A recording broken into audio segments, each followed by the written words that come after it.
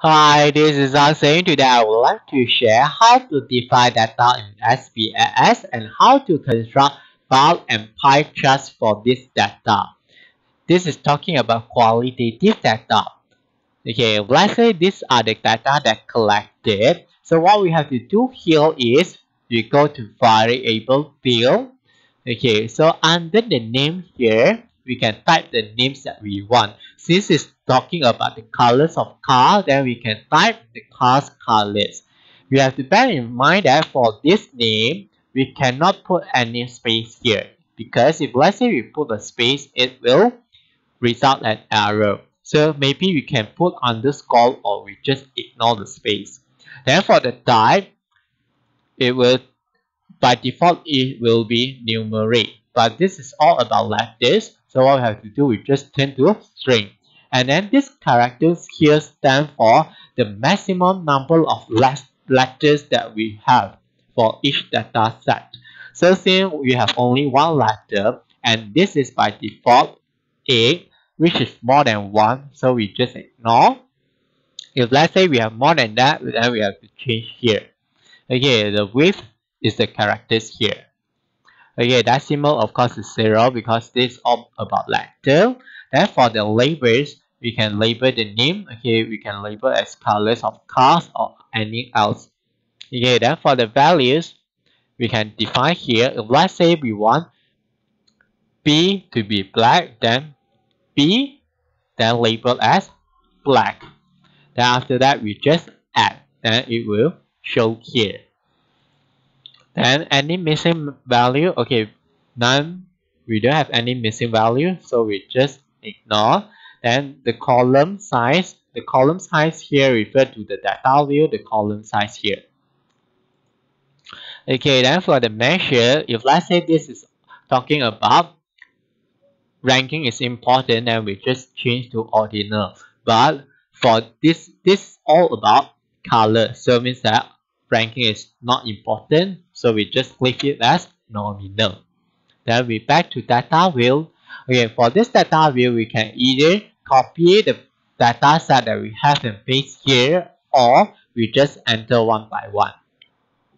Now let's just build our bar chart. We go to analyze look for descriptive statistics click frequencies then we just drag in the variable or press the button, then click for charts, then we select bar charts, then continue.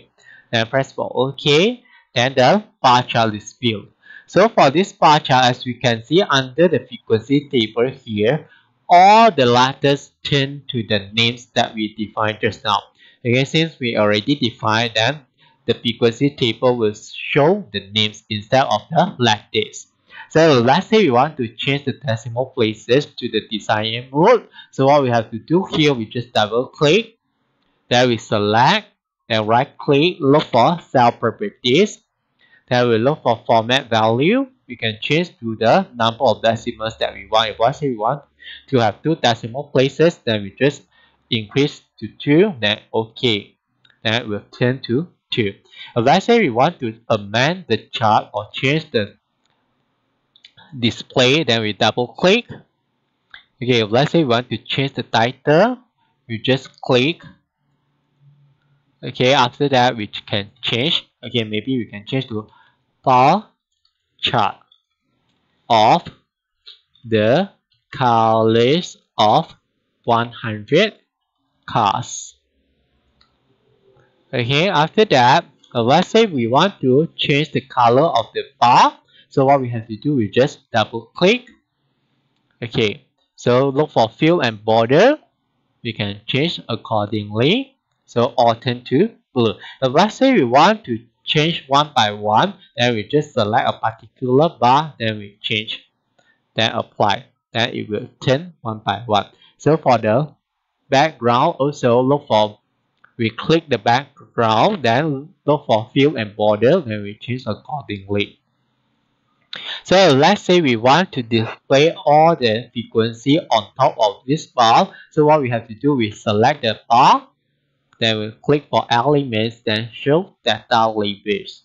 Then the frequency are displayed. So if let's say we want to have all the frequencies displayed on top of the bar and we just click for custom then we choose on top then apply then bottom apply and so on okay so let's say we want to change the sequence of the bar according to what given here. Means that uh, yellow should place after black. Then what we have to do here is we select the bars then look for yellow. Then we upgrade to after black. Then we apply. Then we'll shift to the second. Then for white we just upgrade. Then we'll shift to the third and so on. Okay then we close. Then the bar charts that we want is displayed if let's say we don't want to use this method we can go to graph look for legacy dialog then look for bar then we can click for simple then define then we just input. Okay we can just input then select end of cases then press for ok then the bar chart also can be built. However this one is without title. So what we have to do here is we just add a title here. Okay insert a title. So a title is inserted then we just type whatever we want. So let's say we don't want to use this method we also can use chart builder. Then press for ok. Then look for bar. Then we drag in the bar. So for the x-axis we just place in the variable then for the y-axis make sure it's count or if let's say we want other statistics then we just choose accordingly. Then okay. Then the chart also can be built. Now let's just try for pie chart. We can go to analyze then click for descriptive statistics frequency.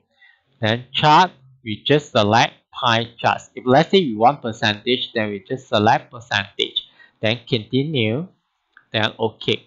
So the pie chart is already built here. So let's say we want to change the colors we can double click.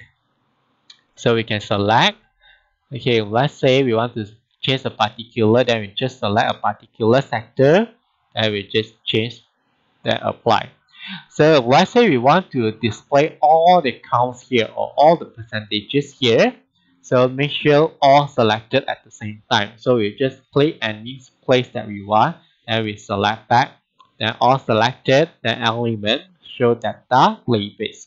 Then all shown here. So let's say we want to have outside. Then we just click for custom. Then outside then apply. Then outside. Then close let's say we don't want this method we can also apply graphs then the legacy dialog the pie. Okay then define. Then we just drag in. Okay percentage or number of cases also can then okay. Then the pie also can be built let's say the one then we can also use chart builder. Okay we just reset. Then look for pie then drag in then we place then count. Okay or maybe we change to percentage. Then apply and here turn to percentage. Then okay. Then also can be displayed. Okay that's all for today. Thanks for watching. Hope you like it. See you